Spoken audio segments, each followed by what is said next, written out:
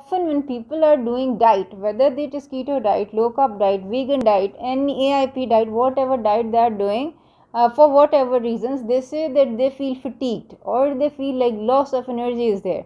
Uh, in fact, if you are doing a diet for weight loss, often people say, oh, I'm feeling like hypoglycemic, my sugar level is low. That is not often the case. If you want to test my theory, check your sugar level next time you feel low, how much your sugar level is. And I can bet a thousand dollars it is not going to be very low. You know, the thing which is deficient when you are feeling low or fatigued is electrolytes or salts as it is called. Uh, but today we will discuss all the salts that are needed by the body and how you can customize your own electrolyte water that is suitable for your own needs. We will discuss all these in this video so watch the video till the end. Uh, subscribe to our channel and click the bell icon right beside it so you get all this information right when it is uploaded. And share it with all your friends who are doing keto diet or who feel lethargic and not feeling energetic. We are like out of energy out of fuse or out of power. Do share this video with them. So we'll start right after the intro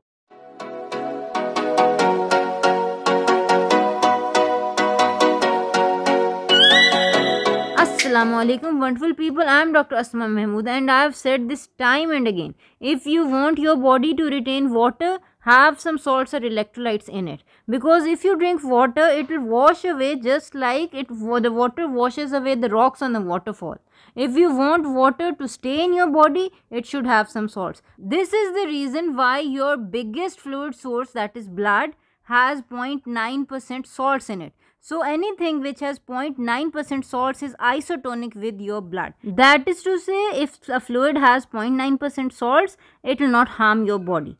On the other hand, if it has less salts, like for example, it has less than 0.9% salts, it is hypotonic, what will happen is all the water will get into the cells and they will burst. This is not good for the body. In diarrhea, it usually happens that we give hypotonic solutions just so that more water gets into the body. But that is only in case of diarrhea. Otherwise, ideally, any fluid you, that you are taking should be isotonic. Now, you might think that salts are good for health, we should take a lot of salts. But if your fluid has more salts, more salts than 0.9% it is called hypertonic solution which is again not good. Because it will draw the water outside the cells and the cells will shrivel and die. Any tonicity that is above 0.9% that is hypertonic but usually 3.3% uh, salts are considered as hypotonic because this is the tonicity of the sea water.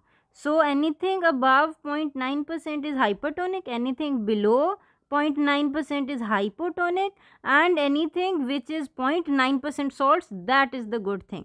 Now the thing is if you are drinking water without any salts what will do? It will wash away all the salts from within your body all the minerals from within your body to become 0.9% isotonic and it is a very famous myth in today's time that drinking a lot of water is good for health actually it is very bad because it drains away all the minerals and salts that are already present in the body and it is really easy to make 0.9% isotonic electrolyte water or salt water just in liter of water, add one and half teaspoons of salt. What salts we'll discuss in a minute. But actually one teaspoon of salt has 6 grams of salt and half a teaspoon has 3 gram that is 9 gram of salts total. So 9 gram of salts in a liter of water makes it 0.9% isotonic salt water. This is the combination that you often get in the hospitals known as normal saline often when I was working in the hospital, you know, patients used to, especially female patients,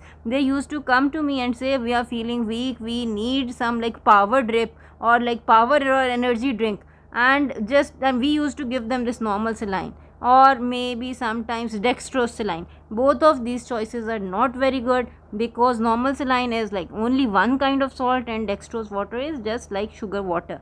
Uh, a better option would have been ringer's lactate because it has potassium chloride and like many other salts. But this uh, is what your doctor will decide that if you need an iv infusion or a drip what kind of iv infusion is best for you today we'll discuss what kind of electrolyte water or salt water is good. So the best kind of water would be the sea water again because it is nearest to the composition of your human blood. In many countries the seawater is sold as bottled water also. If you have seawater or bottled seawater all you need to do to make isotonic solution out of it is mix one part of the seawater with three parts of normal water. That is one glass of seawater with three glasses of normal water. This will give you isotonic seawater salt solution with all the salts of the sea if for example you don't have seawater you can mix up the celtic sea salt which is found in almost all the markets. Just mix up one and a half teaspoons of the celtic sea salt in a liter of water just like I showed you with the pink salt. If you, however, live in a place where there is no Celtic sea salt or sea water like me, you can use pink Himalayan salt. It is not a bad choice. It has at 84 minerals. But if you choose to use uh, Himalayan pink salt, make sure it is not processed, uh, finely ground. Uh, take the stone and grind it yourself so that you get all the 84 minerals of the Himalayan pink salt. The reason why I am so insisting on using seawater is because there was a doctor called Dr. Russell and in World War II he used sea salt to treat all the patients which were victims of the World War II just because the seawater has the same constitution as the uh, human blood. So if you get it that is the best thing if you get raw sea water you can use that also. If you are using raw sea water start with 1 tablespoon uh, increase it to 2 tablespoon because uh, sea water occasionally can cause diarrhea so start slow. If however you are using uh, like if you are doing keto diet on keto diet there are different salts that are deficient.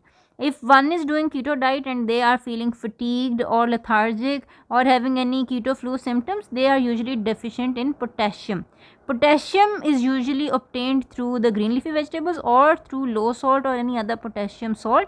Uh, making the salt water is again easy in a liter of water.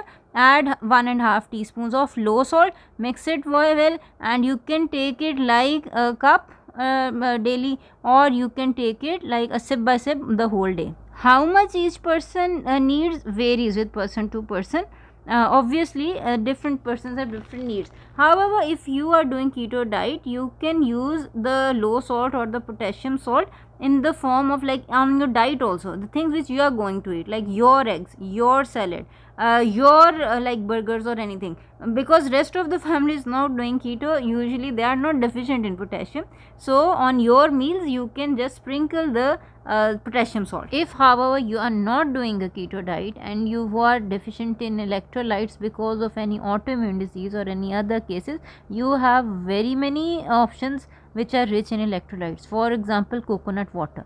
Although coconut water cannot be taken on keto or low carb because it is rich in carbohydrates, but it is super rich in other minerals like it has 500 milligrams of potassium, 50 milligrams of magnesium, 50 milligrams of phosphorus and 50 milligrams of sulfur like this is in one cup of coconut water. If you can get coconut water that is one of the best sources of electrolytes and it is natural.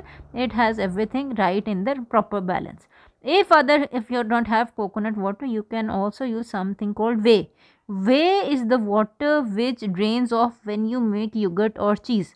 Like if you put your cheese or your yogurt in a cheesecloth and leave it to drain uh, water drips out and makes the cheese thick and this water is called whey. This whey cannot be taken on keto or low carb diet because it is super rich in sugars and carbohydrates but it can be taken if you are not doing keto or the weight loss is not your issue. If you are suffering from any autoimmune disease like Crohn's or ulcerative colitis or psoriasis or any other autoimmune disease in which you need a large amount of proteins and you are not allergic uh, to the milk proteins you can have whey. Proteins are needed to make hormones enzymes and a lot of other things in the body. So again whey is a very good uh, electrolyte water. And also it is especially rich in probiotics or the good bacteria. Especially if you have your whey made from kefir okay what is kefir you can find out on our channel. I've made many videos on it. What i'm trying to get at is uh, electrolytes are not only sodium and potassium okay? Uh, there are like the most abundant ones are carbon nitrogen hydrogen oxygen. In addition the potassium sulfur magnesium and many other elements are present which are very necessary electrolytes. You can get almost all of them from your meat broth. Not bone broth meat broth is better but if you are allergic to meat you can also take bone broth. Add a bit of salt to your meat broth that is super excellent okay? But the thing is whether or not you can take it during your fasting or keto i've made many videos on it do check them out. Now i would just like to say that there was a doctor called uh, william Schussler and he discovered that the tissue cells are made out of 12 salts and you can find all these salts in the form of supplements both in Pakistan and outside Pakistan. You can add drops of these also to your electrolyte water after consultation with your homeopathic doctor. So these are the things which you can add in your electrolyte water to suit your health issues. Uh, like for example, if you are suffering from any skin disease or nerve disease, silica, ionic silica is one of the best thing that you can add in your uh, electrolyte water. These are the things which are very subjective, but what I mean to say is the amount and the quality and what electrolytes you can add is very subjective to your personal needs. And once you add these and take these electrolytes you will see immediate benefits. As you have seen it is very easy to customize your electrolyte water by yourself. It is not expensive. It is super cheap super simple and you are the best person who knows what kind of deficiency you are facing. Let me know in the comment section below uh, if you found this video helpful or not and how you have customized your electrolyte water for your own needs. Thank you for watching the video till the end. Till we meet next time, take care. Assalamu alaikum warahmatullahi wabarakatuh.